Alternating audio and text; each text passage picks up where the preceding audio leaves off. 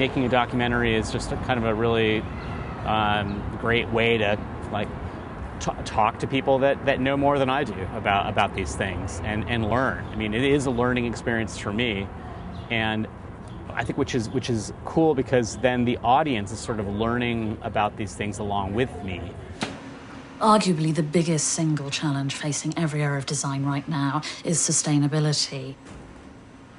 It's no longer possible for designers to ignore the implications of continuing to produce more and more new stuff that sometimes we need and sometimes we don't need.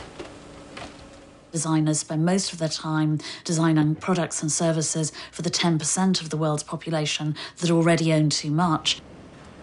when 90% don't have even basic products and services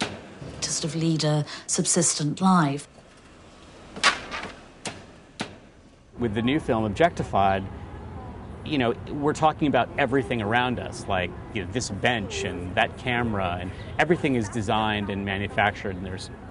hundreds of people and you know thousands of decisions and all this time that goes into the simplest object, and people kind of I think take it for granted. And that also sort of influences the way we purchase this stuff and use it and dispose of it. So I, I think, in a way, if people are more educated about the process behind these kind of objects in terms of design and manufacturing, then they kind of look at them in a little bit different way and maybe make more informed choices about the stuff that they use.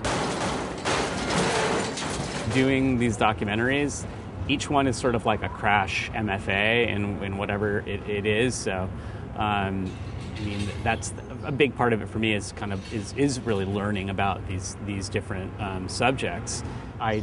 kind of decided to start like an independent record label, but for, for film, and it was a company called Plexifilm, and we started releasing music documentaries and just sort of like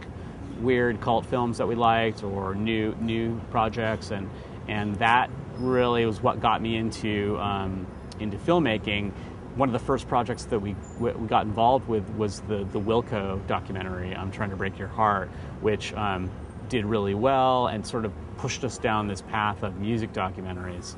Uh, and then after I'd helped a few other filmmakers that I knew produce their their films, I figured that I knew enough about you know how to make a documentary to try one on my own, but I had never you know, directed a film or I'd barely even picked up a camera before Helvetica. But um, it was just sort of like a little personal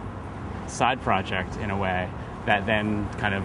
gained a lot of momentum and ended up completely changing, you know, my life in terms of like what I do. Because once you do, you know, one thing and, and, it, and it works, then now you kind of just, oh well, yeah, okay, maybe I can do another documentary, or maybe I'll do you know, there's all these other things that I'm curious about, so why not try to make more films? So I'm sort of like hooked on it now, and um,